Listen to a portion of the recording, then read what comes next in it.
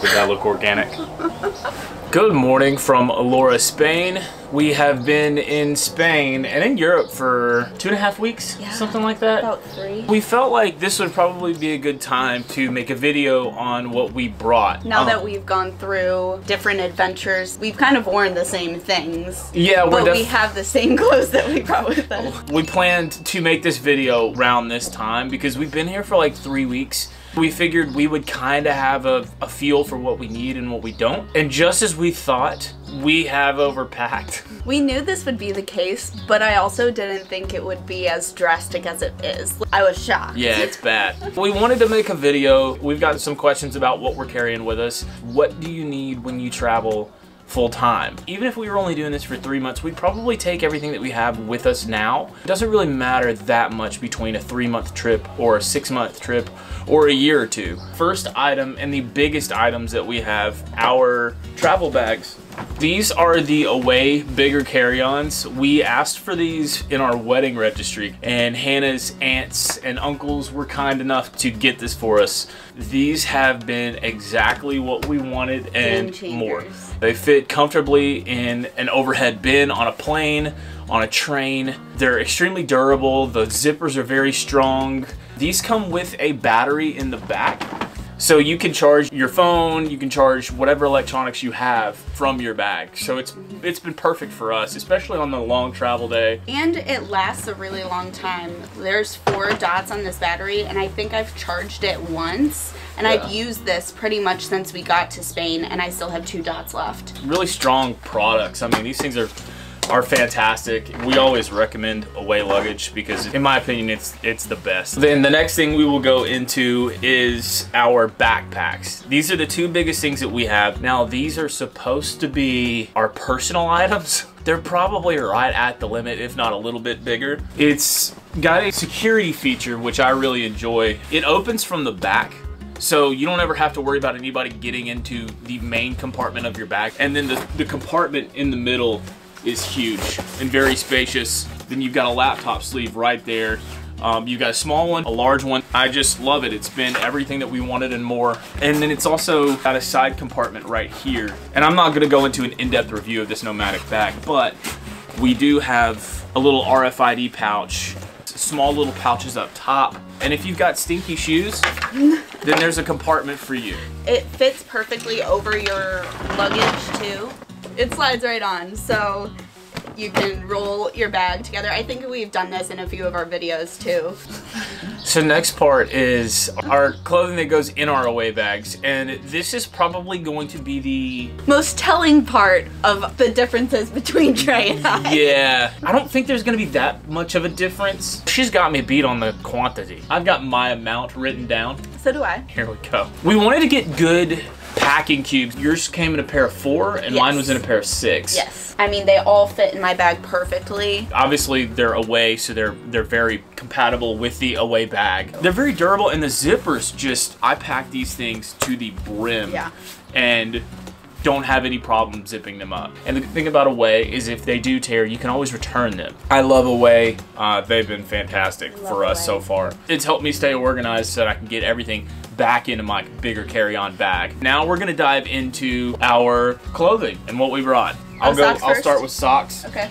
So I I, can take mine out. took 11 pairs of socks. I will tell you that I've not come close to having all of these used between loads of laundry. I have four pairs of long socks and six pairs of short socks. So you've got 10 pairs of socks. Yeah. So I'm actually worse off than you right now. I have used all of my regular socks Mm. and been left only with my long socks, which sometimes isn't the most ideal situation. Okay, I'm gonna go to leggings slash. I have written underwear, but they're like boxers.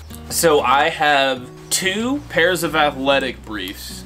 I've got nine pairs of boxers, and I've got two long john athletic leggings. So in total, I have 13 items of clothing in this thing. Yeah, that's that's a lot. So I have 18 pairs of underwear, two bras, and two running bras in here. So I extremely 18. 18. I will be downsizing quite a bit on that. So then you also said leggings, which brings me to my pants bag, I think is probably my most full. So let's just go through this real quick. I have in this bag, not including the joggers that I'm wearing, one pair of insulated leggings, four pairs of regular leggings, two pairs of spandex shorts, two pairs of running shorts, two pairs of joggers, one pair of sweatpants, one pair of jeans, and one jumpsuit. Have a method to the madness too. You know the little intro video where we're like, in 2021, we booked a one-way ticket and sold almost all of our belongings.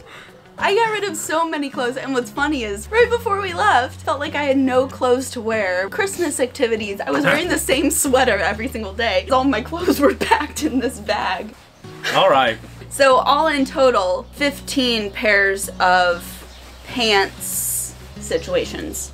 I feel like this would be so totally different going to Asia for a year where it was like warm, whereas Yes. here it's like kind of chilly here, and we're then we're gonna be in for Eastern. Europe in Yeah. I guess a couple weeks, and that's gonna be super duper cold. So that's kind of why we have so many clothes. And we're not going back to the States until June, and then by June, when we get back, we'd only have a few months until we need cold weather gear again. Yeah. We're kind of preparing for both, which is what you would need to pack if you're leaving for a year, too. So my next thing is my shorts.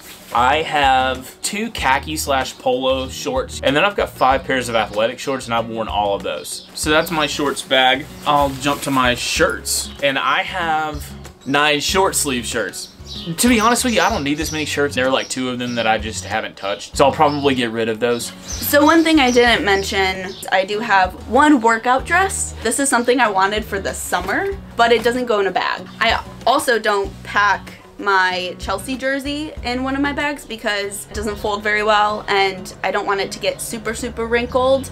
Okay. I feel like I should. This should be like a Price is Right game. Uh, how many shirts? Between the two of these in here, I have two sweaters, three cropped long sleeve shirts, four long sleeve shirts, eight cropped like tank top, and then one t-shirt. One t-shirt. I can't believe I had one t-shirt. That's what I thought was most shocking. Well, it, it all fits in her bag. Hopefully she I don't makes need it them. happen. So, for my outerwear, this is my bag. So this basically fits in a compartment, one side of my away bag. Two long sleeve pullovers, one hoodie, three pairs of joggers, and I also have that long sleeve shirt. That's basically all that I have in my outerwear. I'm able to make room in my bag so that I can wedge these in there. These are my Brooks Ghosts. They're incredible. If I'm going on a hike, if I'm going, if we're going for a long walk through a city, these things are miraculous. They do wonders for my feet. And then also, I've got a pair of white New Balances, kind of add a little bit more style. So I wanted a pair of black shoes and white shoes and a pair of flip-flops that I bought in Puerto Rico a few months ago. These will be used in the summer ideally. As of right now, they're just kind of sitting in my bag. So I also have a pair of flip-flops. I've used these for our first Airbnb in Madrid. It wasn't a hostel, but it was an Airbnb. It was like a private room. I wore these like to and from the shower, but other than that, I have not used them. And then I also have a pair of Brooks. I love Brooks.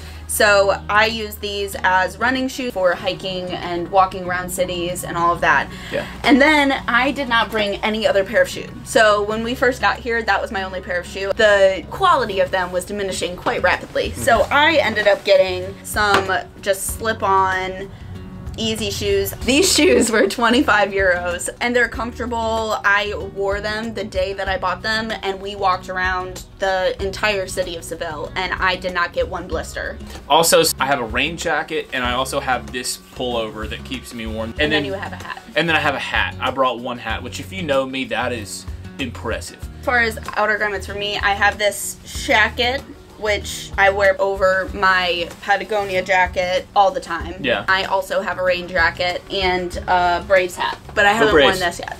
World Series champions. Okay, so we've talked about our shoes, we've talked about our clothing. And to wrap up clothes, we do have laundry bags. I know these are probably not a secret for a lot of you. I can't stress enough how amazing these things are. Unzips, and as you might guess, it unfolds into a huge laundry bag Yeah. that we throw all our stuff in. So our toiletry bag, pretty small. It's a Herschel toiletry bag. Got a strap that kind of hangs. Got a little brush in here. Deodorant. A tr hair trimmer for my facial hair when it gets unruly. A Quip toothbrush. We've also got Tums. Things that you would normally have access to, but when you're traveling for as long as we are, we don't know if they'll have them. I have this toiletry bag that has a lint roller, uh, deodorant, this makeup brush that's compact, my jewelry case, and just all the things that you would need but are not liquids. And this is because when you fly, you have to have all of your liquids fit inside of this quart bag. They can also only be three milliliters of liquid. I do have a lot of travel size lotion, a travel size hair product. All of that stuff has just kind of fit in here. I also found out that makeup wipes are not included as a liquid. And then I also have a Quip toothbrush, which these toothbrushes have been amazing. This part will be just miscellaneous accessories that we highly recommend that we've brought with us. Mm -hmm. Our electronics bag. We've got no shortage of cords. And there's a lot of open spots right now, and the reason is because they're all plugged up in their charging. This thing's huge. It's got plenty of compartments for plenty of cords. So one thing that's not in here that we do have is a little $30 Amazon Fire Stick. As much as we're traveling and as fast as we're traveling, we don't want to forget to log out of our Netflix account or download a streaming service because it's not included on that smart TV. So the Amazon Fire Stick has been very helpful. We've got this as well, a power strip. Yeah. We got these from my mom for Christmas. These are specifically for Europe, and these things are so much better than the ones we had before. If you're traveling for a year and you don't have nearly as much electronics as we do, you might not need a power strip. You might not need several yeah. different outlet adapters. If you are traveling with a lot of electronics, a power strip is a must. So nice because we've not had a ton of outlets in the places that we stayed. If you're going to drive in Europe, definitely want to get one of these. It's an international driving permit and it basically translates your US driver's license to Europe and the EU. Just go to your local AAA, they'll take your picture. It's like 35 bucks. They'll convert all of it. I didn't know I'd need to take a picture. I had hat head so badly. I'm not gonna show you this. Hannah might. Hannah got this for me for my birthday last year. It's a photography camera notebook. Just what I've been taking notes in. Just get a notebook. One more thing. When you're on a long flight, for instance for me, when we were flying over here, my in-flight entertainment did not work. It kept flashing. They couldn't even shut it off. The entire time I was like, well, how do I watch a show, consume anything to make this flight go shorter? They're Perilogics. So basically they clip onto the back of the tray table. Just sits like that in front of you. These are game changers. If you're traveling, even if you're on a long bus ride, a long train ride, this is the big thing for me. I love yeah. these things. And they're tiny. They take up like no space. Mm -hmm. I found this on a bunch of different sites while we were getting ready to travel. Alarm door stopper in situations like the shared room in Madrid. It's added a sense of just security yeah. and takes up no space. It's very small. It's very lightweight. It's something I never would have thought of. I also have a laptop stand. If you are editing, if you are working while traveling, if you are really doing anything that requires a laptop, this has been a lifesaver. My neck and my back thank Trey for suggesting that I get something like this. It's very, very lightweight. It's very thin, which is great for packing. I highly suggest this one. And then we also have water bottles. Water bottle. I broke mine before we left the state. But this has been really helpful to have, especially if you're in an airport. I feel like it's always good to fill up a water bottle before you get on a plane. That's a pro tip. Anytime you fly, take an empty water bottle, go through security, fill, fill it, up it up after you've gone through. Especially if it's a long flight because your body gets dehydrated so much when you fly. So you want to continue to hydrate while you're flying. Just one other quick thing for all of my accident prone friends out there. I brought athletic tape. This is a very versatile item. We also have a mini little first aid kit and motion sickness bands because if we do adventures, even traveling, when we've been driving through Alora, roads are very, very, very windy. I also wore these on our travel day on the plane because I wasn't sure how my body was going to react. It's been a long time since I've flown eight hours nonstop. Takes up zero space. And these are just really nifty items if you are accident prone like me. So that's pretty much everything we have with yeah. us currently. I'm sure that we can do a video later on once we've downsized because as we've mentioned, we we'll insanely overpacked. Yeah, we did. This is a rough draft rough for draft sure. packing list. But we'll include links down below of some of the items that we did bring with us. If you've done this kind of travel thing before and you're thinking, oh, these two could really benefit from this item, please let us know. Get down in the comment sections. Let us know what you think. Thanks so much for sticking with us on this video. Thanks so much for tuning in. Things are about to get crazy. So we wanted to do this video before things got nuts. we'll see you later. Bye. Bye.